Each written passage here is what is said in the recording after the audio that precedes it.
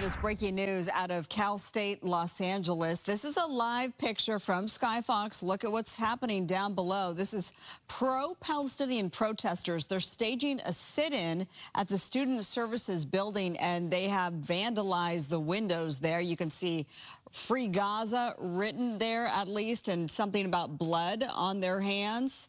Uh, there are reports some university employees may be trapped inside. And right now, the protesters, as I mentioned, they're spray painting the windows. From the inside, outside, protesters are linked arm to arm. Here's another view. This is from our ground shot here. Photographer Mike Armijo, thank you for this live picture right now. As you can see, they're using umbrellas and tents to block entrance into the building, and they have taken over the plaza outside.